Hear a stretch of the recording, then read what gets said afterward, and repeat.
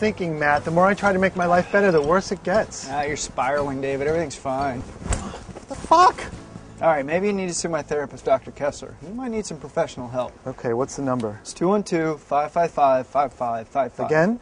555 5555. 555 5555. Yeah. Okay, and what's the address? 123 Main Street, Anytown, USA. Okay. All clear on Main Street. Nothing to report.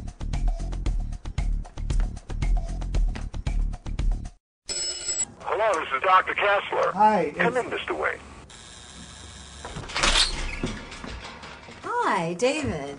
I'm Carol Kessler. Welcome. Pleasure. Oh, you sound different than you did on the uh, intercom. Oh, I know. The intercom makes everyone sound like an old Jewish man. But who has time to fix it? I mean, what with the pace of modern times and just voicemails and fax machines and CB radios. So why don't you uh, take a seat and uh, we'll get started, okay? Just a second. Uh, breaker, breaker. This is the Poodle Cruncher, and I will be radio silent for uh, the next hour or so. Over and out, good buddies. Okay. so, David, what brings you to therapy? I don't know. I've just been lonely, kind of depressed. Can't seem to keep a relationship going. No, stop.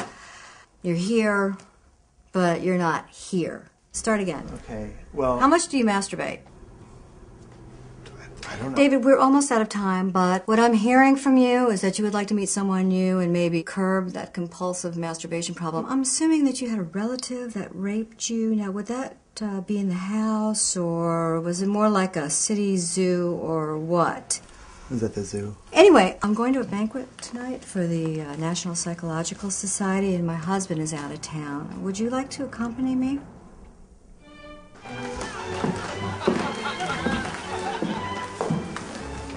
My God. Dr. Kessler, you look beautiful. Oh, thank you, David. And uh, do me a favor. Call me Carol. Evening, Dr. Kessler. Where's Marvin? Who cares? This is David. He's a patient of mine. Let me guess. Obsessive compulsive? Try again. Bipolar? Nope. Intermittent explosive disorder? Wrong. Anorexia nervosa? No. Munchausen syndrome? No. Paraphilias? No. Okay, I give up. What's wrong with this guy? I don't even know. I've only had about a two minute session with him so far. Gotcha. Nice to meet you. Come here, you. I'm going to do something that I've been wanting to do for a long time. Oh, Carol, isn't this just inappropriate on so many levels? Come with me.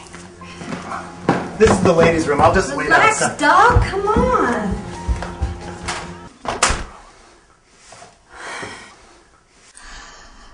What are you doing?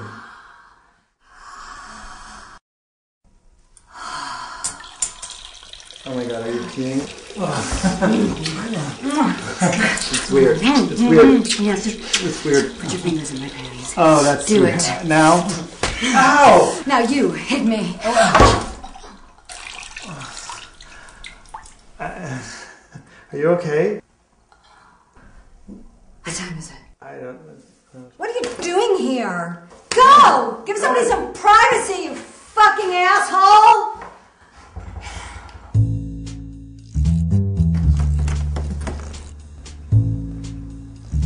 David, Carol? Dr. Kessler, if you please. This is my husband, Marvin, and you know Matt. How could you, David? What? I mean, do you have any idea how this makes me look? But I, I What do you think I was? You think I'm some kind of chump or something? Jesus. We have uh, decided not to press charges, David. But if you ever step foot in any town again, I will personally stab you right through the heart with a sharpened flagpole. I don't understand. I just came to her for some help, and then suddenly last night she takes me to this weird party. There's a disease, a cancer in this room, and its name is David Wain. I hope you die soon. Marvin, Absolutely. Matt, Matt, not you, Matt. You're my friend. Not anymore, David. I hope you die as soon as possible. After you, what you did to Dr. Kessler and her husband, unforgivable. Now, I don't want this session to end on a sour note, so I brought some slow house groove I thought that we could all dance to.